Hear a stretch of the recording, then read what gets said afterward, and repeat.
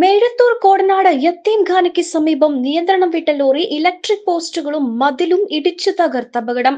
തിങ്കളാഴ്ച പുലർച്ചെ ആറേകാലോടെയായിരുന്നു അപകടം. കൂറ്റനാട് ഭാഗത്തു നിന്നും മേഴത്തൂർ ഭാഗത്തേക്ക് ലോഡ് കയറ്റാൻ പോവുകയായിരുന്ന കല്ലുംപുറം സ്വദേശിയുടെ ലോറിയാണ് അപകടത്തിൽപ്പെട്ടത്. വളവിൽ മറ്റൊരു വാഹനത്തെ മറികടന്നു വരുന്നതിനിടെ വിദ്യാർത്ഥികൾ റോഡരികിലൂടെ വരുന്നത് ശ്രദ്ധയിൽപ്പെട്ട ഡ്രൈവർ ലോറി വെട്ടിച്ചതോടെ നിയന്ത്രണം വിട്ട് പോസ്റ്റുകൾ ഇടിച്ചു തകർക്കുകയായിരുന്നു. സമീപത്തെ വീടിന്റെ മതിലിടിച്ചാണ് ലോറി നിന്നത്.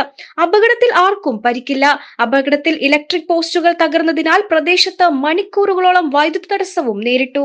പെണ്ണ് കുതിക്കും പെണ്ണിനെ കുതിപ്പിക്കുന്ന കനക ഘടകാഭരണങ്ങളുടെ കമനീയ ശേഖരവുമായി പട്ടാമ്പി പട്ടണത്തിന്റെ കനക കൊട്ടാരം. Manukkas gold and diamonds Manukkas tower railway over ബ്രിഡ്ജിന് സമീപം മെയിൻ റോഡ് പട്ടാമ്പി.